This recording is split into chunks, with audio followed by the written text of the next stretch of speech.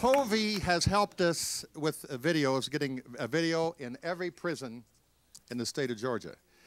And now we're also uh, getting a lot of videos uh, in, into the prisons in Tennessee and also in Indiana. And I called Chuck the other day and I said, Chuck, a good thing is happening. We've got a lot of mail from inmates saying how much those videos mean to me. And uh, just Friday, before this Monday taping, I got this brilliant idea, and I said, Chuck, nobody should do this to anybody.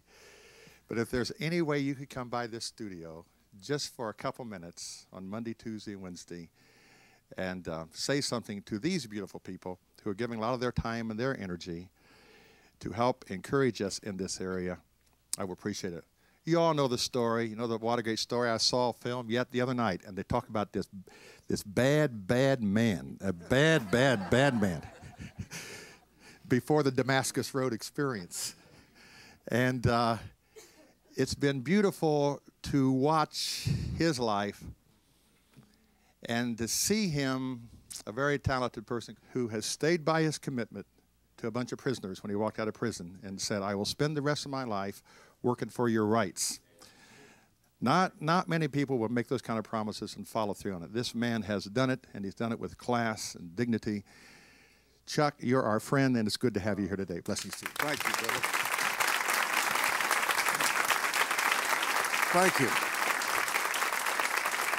Bill said, when you get here, you'll appreciate why I want you. And I could uh, appreciate it the moment I walked through that door and heard that singing and saw the joy on your faces. You know, just a few months ago, I was on firing line with Bill Buckley, and we did a four part series on crime. Maybe some of you saw it on PBS. But one of the things that Bill said, he said, I think we could reform the prisons by uh, putting over the loudspeakers and making all the inmates listen to Mozart and listen to the great classics, Bill loving classical music. And I answered that, and the crowd responded to it. I said, Oh, no, better than that is the gospel. Let them hear the gospel with it some hope. And so that's just what you're doing. I honestly believe if we're going to stop the next crime wave, it's going to be by the Church of Jesus Christ, God's people, bringing hope not just to the fathers who are in prison, but to their kids who are 9 and 10 and 11 years old, who have no hope either.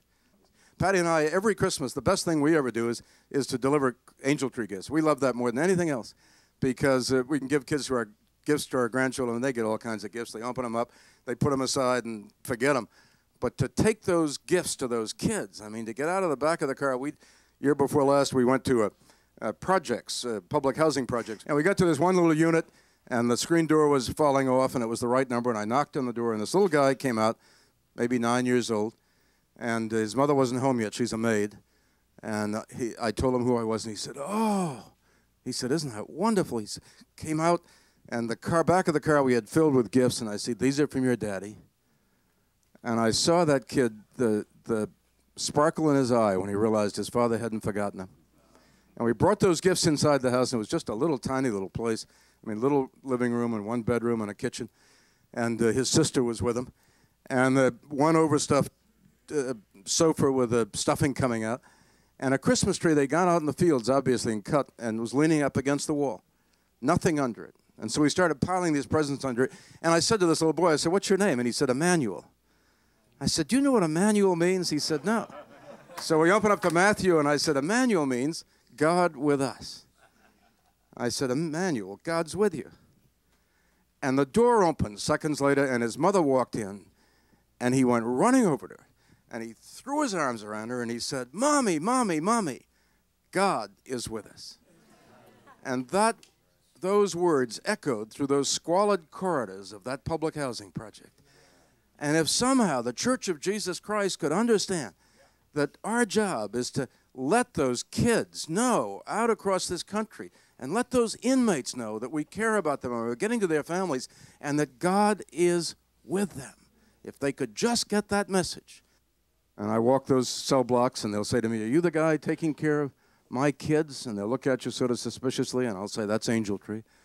And I'll see those hardened convicts break down and cry because somebody cares about them. If we could just let them know, somebody cares, somebody loves.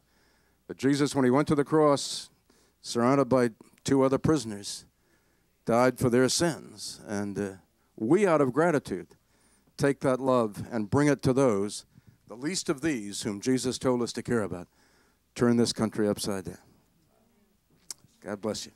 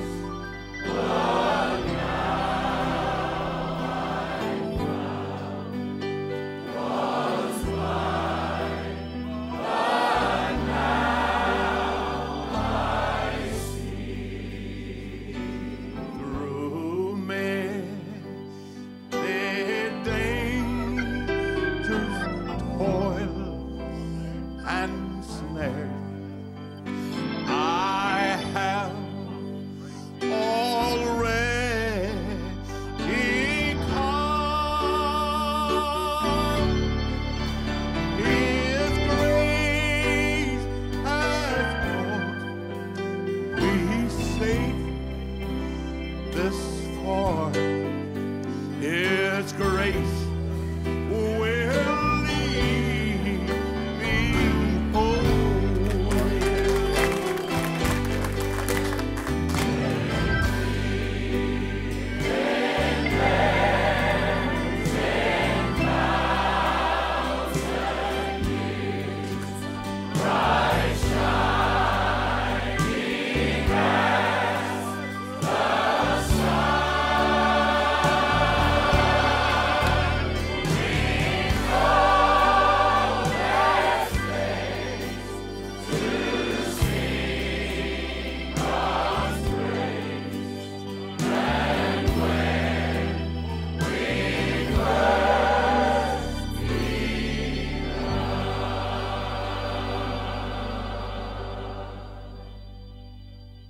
For all the, uh, the great thoughts and works and things you think about, nothing, nothing takes the place of looking at your faces, seeing those tears rolling, and feeling the love of Christ in this room. There's nothing like it.